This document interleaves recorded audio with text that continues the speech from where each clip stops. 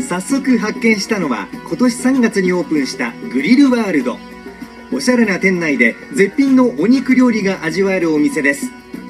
遊び豚とは阿蘇の広大な自然で育てられたブランド豚。そんな遊び豚を使ったランチなどが人気なんですがこちらのイチオシとは？どうも初めまして。どうもった気がしない。どう？なんか僕も初めて気が。だってこちら遊び豚がいらっしゃるんでしょ？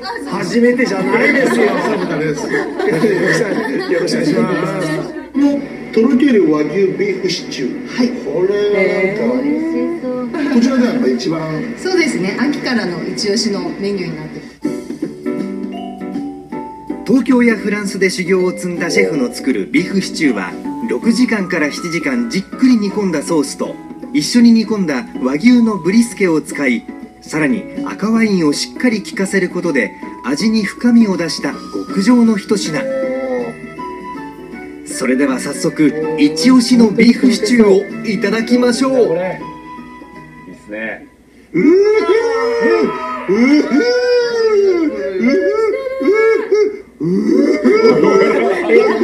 遊ん。でるはいじゃあいただきましょう。あこれお箸で切れるね。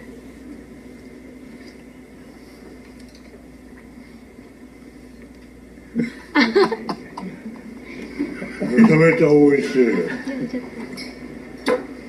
めちゃめちゃ美味しいなんかねきっとそういう空気になりますよね。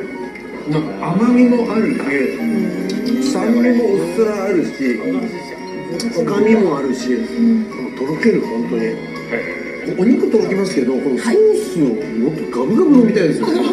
かなん。かこの風呂に入りたいなもう完全にもしプロファイルさん。ねこの風呂にここまで入ってたら多分出汁取られてます僕のトロトロ煮みたいになそうそうここでグリルワールド名店たる秘密を解き明かします実はグリルワールドは絶品親子丼が人気のあのミシュランガイドにも掲載された焼き鳥屋さんの姉妹店。他にも地元